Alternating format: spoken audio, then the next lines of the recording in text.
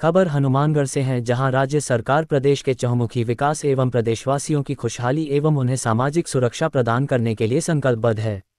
सरकार का प्रयास है कि राजस्थान वर्ष 2030 तक देश का अग्रणी राज्य बने।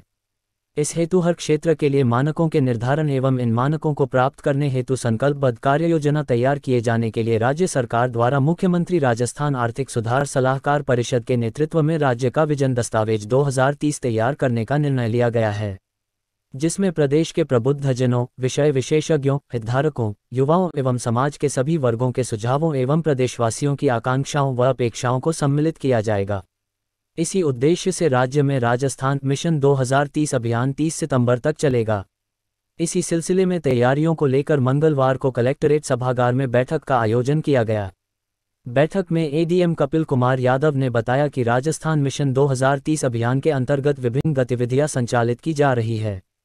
मुख्यमंत्री द्वारा राजस्थान मिशन 2030 के उद्देश्यों एवं अपेक्षाओं तथा राज्य सरकार के हितधारकों और प्रतिभागियों से अपेक्षाओं के संबंध में संबोधन, आमजन से राजस्थान मिशन 2030 के संबंध में ऑनलाइन सुझाव आमंत्रित करना, विभागीय अधिकारियों एवं कर्मचारियों से ऑनलाइन सुझाव आमंत्रित करना, विभागीय स्तर पर संबंधित हितधारकों के साथ गहन परामर्श करना face to face survey face to face survey किए जाने में कठिनाई होने वाले क्षेत्रों में फ़ोन कॉल्स की मदद से आईवीआर सर्वे राजस्थान मिशन 2030 विषय पर स्कूलों और कॉलेजों में निबंध प्रतियोगिताएँ आयोजित करना और उत्कृष्ट लेखक को सम्मानित करना। वीडियो कॉन्टेस्ट के माध्यम से नागरिकगण अपने सुझाव वाले वीडियो सोशल मीडिया पर अपलोड कर प्रतिदिन पुरस्कार प्राप्त कर सकेंगे। मुख्यमंत्री द्वारा विभिन्न हितधारकों और प्रभावशाली समूहों के साथ संवाद, विभागों द्वारा विभागीय मिशन दस्तावेज़ 2030 का प्रारूप तैयार करना, दस्तावेजों का सेक्टर वाइज प्रकाशन किया जाएगा। एडीएम ने सभी विभागों को राजस्थान मिशन 2030 अंतर्गत आवंटित लक्ष्यों को समय सीमा में पूर्ण करने, सक्रिय रूप से भागीदारी लेने तथा दिए गए निर्देशों की अक्षरश अनुपालना करने के निर्देश दिए।